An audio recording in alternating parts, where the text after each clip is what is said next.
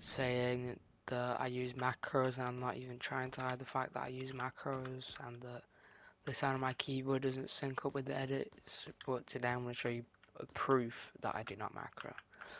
So, oh also I'm going to be doing my settings um, so yeah you can see my sense, uh, HUD stuff. Normally I have my HUD on 76 but for now I just have it on 99 and yeah you can just see my binds and stuff. Nothing special. And um, how I edit um, I use HJ and equals and left bracket. Um, I'm also going to be showing you how I reset so I'm just going to show you how I edit and you will be able to hit my keyboard. So equals bracket.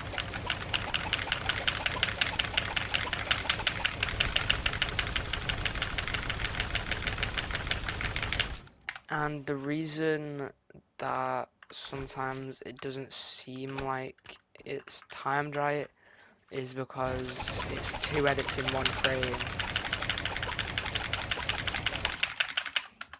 and um, so basically uh, 60 FPS and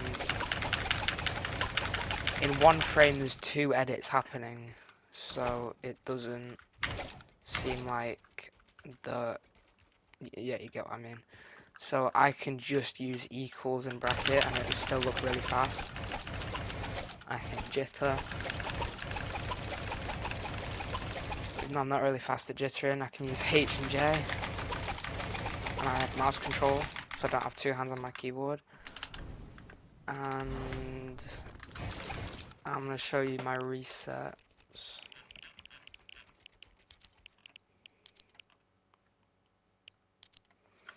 Um, on console resetting like this looks um, it looks like a macro pretty much but it's not. It's just I have the G502 and um, I just keep scrolling it so it looks faster it's not it's nothing special see it